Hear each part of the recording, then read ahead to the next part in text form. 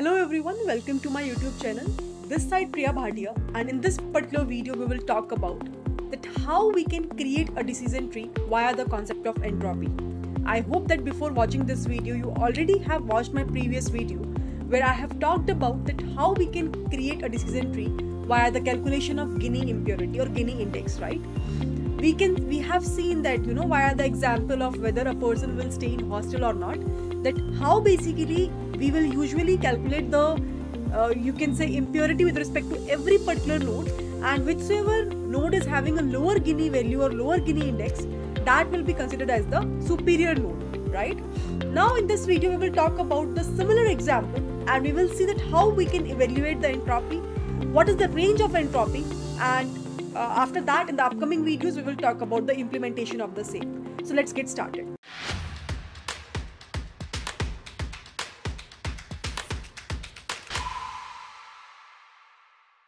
now, taking the same example that I already have covered up for the Gini index evaluation, I am using the same thing for the entropy part. I hope you all remember that this is what the table that we will be able to get uh, when we are checking for the class, that how many of them are staying in hostel and how many of them are not staying in hostel and the total number of records that we have correspond to that, right? Now, whenever we are talking about entropy, what is the meaning of that? The simple meaning is that here we are talking about something called as randomness. Here we are talking about something called as randomness. That how much randomly data is distributed. You know? Now what we really want is, we really want to calculate the information gain via the concept of this entropy. What is the meaning of information gain by the way? The simple meaning of information gain is, the simple meaning of information gain is that what is the entropy before the class? I'll let you know how we are evaluating that. Minus what is the entropy after? What is the meaning of that? Let me just give you the example. See, first of all, if I'll ask you, how many total number of yes are there?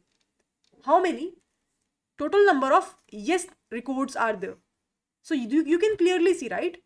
How many total number of yes are there and how many total number of no are there? So if we'll talk about yes, if we'll talk about yes, 1, 2, 3, 4, 5, 6, 7 and 8, right? It means that I will be having 8 number of yes and 6 number of no. So what is the probability? What is the probability of yes and no? So it will be 8 by 14 and it will be 6 by 14. Perfect. It will be 8 by 14 and it, it, it will be 6 by 14 that we have. Right? This is the probability that we have. Now, how basically we can evaluate the entropy? The basic way to evaluate the entropy is minus summation of i equals to 1 to n where n indicates the number of classes that we have p of i log of p of i right? So if i'll ask you that what is the entropy of a complete class that we have which is yes or no? This is the class right? Uh, not class this is the i would say uh, target value whether it will be yes or no. So let's consider that as a target right? Let's consider that as a target so here you will observe the probability of yes will be equals to minus of 8 by 14 8 by 14 log base 2 8 by 14 minus of 6 by 14 log base 2 6 by 14 now you can try at your home and try to evaluate the answer the answer will come out to be 0.98522. I have already done the calculation, so I'm just copying pasting the, that, that particular answer. Okay. Now, this is the entropy of a target value, which is either the person will stay in hostel or not, right? Now, if I ask you, what is the entropy of a complete class? What is the entropy of a complete class? What will be the answer? What will be the answer? So, this is the entropy of a label or the target class that we have. Now, what is the entropy of a class 8? What is the entropy of a class 8? So it will be nothing but is equals to what is the probability of yes? it is minus 2 by 3 log of 2 by 3 minus 1 by 3 log of 1 by 3 because the probability of class yes in the 8 class is 2 by 3. Probability of class 8 no as 1 by 3. So if I'll ask you what is the what is the entropy of class 8 so you will say it will be negative of negative of 2 by 3 log base 2 2 by 3 minus minus 1 by 3 log base 2 1 by 3. Similarly, if I'll ask you what is the entropy of class 9, so it will be equals to, it will be equals to negative of 2 by 3 log base to 2 by 3 negative of 1 by 3 log base to 1 by 3. So for class 8, the answer will come out to be uh, 0.918. Same answer we will be able to get for the entropy of class 9, which is 0.918, right? Similarly, we can evaluate what is the entropy for class 10 and for class 11. So if you will observe, the entropy for class 10 will be equals to minus 1 by 4 log base 2 1 by 4 minus 3 by 4 log base 2 3 by 4. Similarly, entropy for class 11 will be, will be equals to minus 3 by 4 log base 2 3 by 4 minus 1 by 4 log base 2 1 by 4. In both cases, the answer will be similar, which will be equals to 0 0.811. Okay. Now, this is how basically we will be able to calculate the individual entropies of every class. I hope this part is clear to everyone, right? So the simple way to calculate the entropy is, I believe everyone will be able to understand. I hope everyone remembers how we evaluated the Gini, index, right? Now the way of entropy is negative of P of i log of P of i, right? Perfect. Now if I just want to evaluate what is the entropy of a complete class, what is the entropy of a complete class? So what will be, what will be the answer? What is the entropy for a complete class. For a complete class. So here if you will observe, here if you will observe, in this class, how many number of records are there with respect to the class number 8? 3, right? So it will be 3 by 14 into what is the information gain of class 8? It will be 0.918. Similarly, for class 9, it will be again 3 by 14 into 0.918. Similarly, it will be 4 number of records are there 4 by 14 into 0.811. Similarly, it will be 4 by 14 into 0.811, right? So what I have done is I have just evaluated the probability of each class. I will be having class 8 3 number of records, class 9 again 3 number of records, class 10 4 number of records, class 11 4 number of records. If I just calculate what is the complete entropy I will be able to get, the answer will be equals to 0.8574. Now if I'll ask you what is the information gain of this complete class, you will evaluate what is the entropy of a complete class label that we have. It will be 0.98522. 0.98522 minus what is the entropy of a class? It will be 0.8574. 0.8574.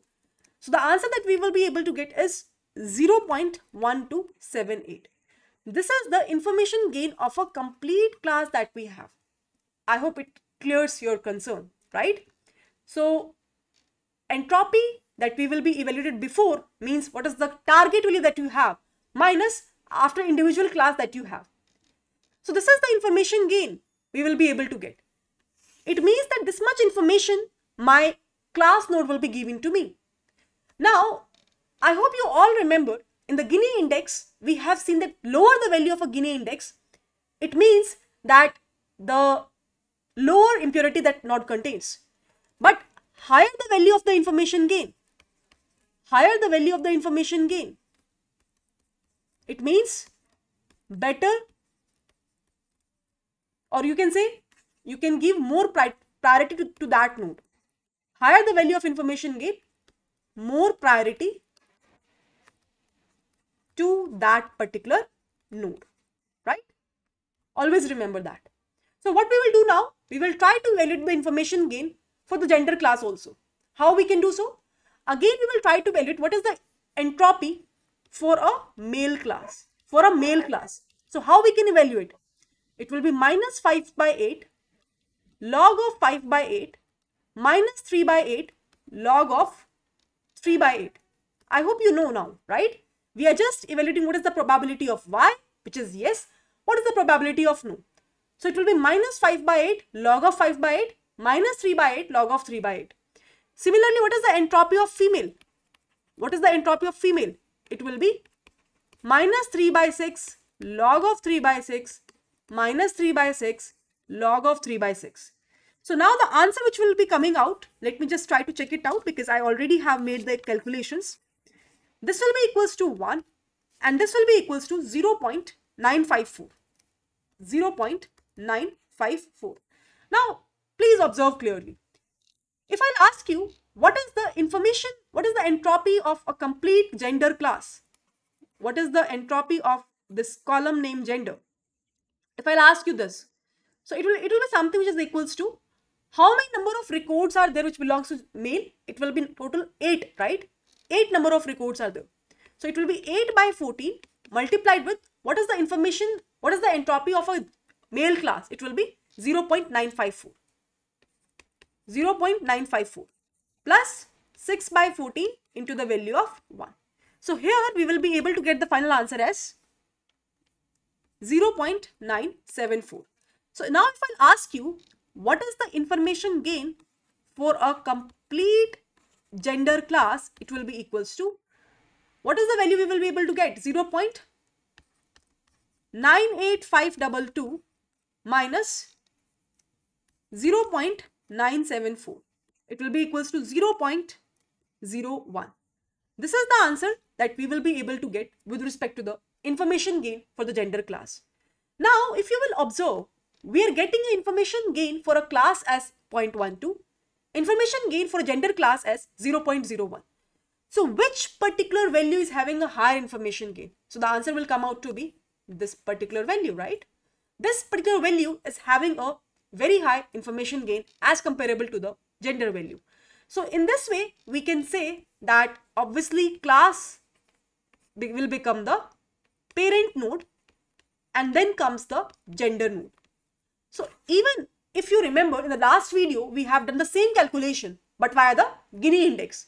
And we have find out that the value of the Gini index, the lower value of Gini index is at class. Similar thing we have done now also, but now via the entropy. Now if I'll ask you, at what point of time my sample is highly impure, the case will remain same, right? Highly impure means that you will be having yes as maybe if suppose you will be having 10 number of records. Half of the records are yes, half of the records are no. If I ask you what is the probability of yes, so you will say minus 5 by 10 log base 2 5 by 10, 5 by 10 minus 5 by 10 log base 2 5 by 10. It doesn't mean it. What, what does that mean? If I just calculate the entropy of this, can you give me the answer?